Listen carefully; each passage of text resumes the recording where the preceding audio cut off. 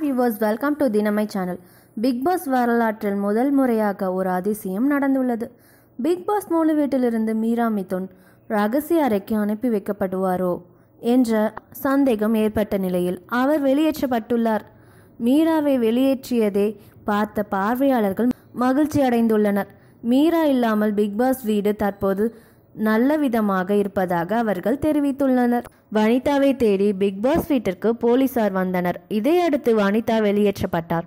இந்த நிலையில் மோசடி வழக்கு தொடர்பாக எழும்பூர் போலீசார் மீரா மிதுனுடன் விசாரணை நடத்த பிக் பாஸ் வீட்டிற்கு சென்றனர்.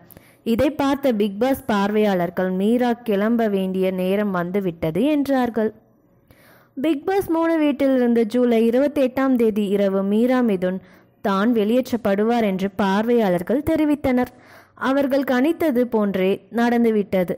வழக்கமாக பார்வையாளர்கள் ஒன்று நினைக்க பிக் பாஸ் வேறொன்று செய்து அவர்களை அதிருப்தி அடைய செய்வார். இந்த நிலையில் தான் இந்த அதிசயம் நடந்துள்ளது. சில போட்டியாளர்களை வெளியேற்ற பார்வையாளர்கள் மாய்ந்து மாய்ந்து ஓட்டு போடும் அவர்களை பிக் பாஸ் காப்பாற்றியது எல்லாம் முன்பு நடந்தது என்பது குறிப்பிடத்தக்கது.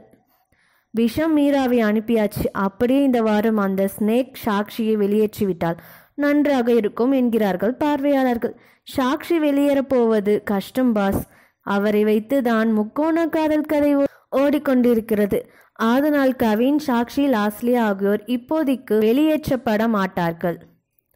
வார இறுதி நாட்கள் பிக் பாஸ் அரங்கில் பார்வையாளர்கள் என்ற பெயரில் இருக்கும் ஆட்களை பார்த்தாலே கடுப்பாகிறது என்று பலரும் தெரிவித்துள்ளனர். சரவணன் தான் செய்த கேவலமான விஷயத்தை தெரிவிக்க அதை கேட்ட அரங்கில் இருந்தவர்கள் கைத்தட்டினார்கள் சனி மற்றும் ஞாயிற்றுக்கிழமையில் அரங்கில் பார்வையாளர்கள் யாரும் இல்லாமல் கமலை மட்டும் நிகழ்ச்சி நடத்த வேண்டும் என்ற கோரிக்கை எழுந்துள்ளது.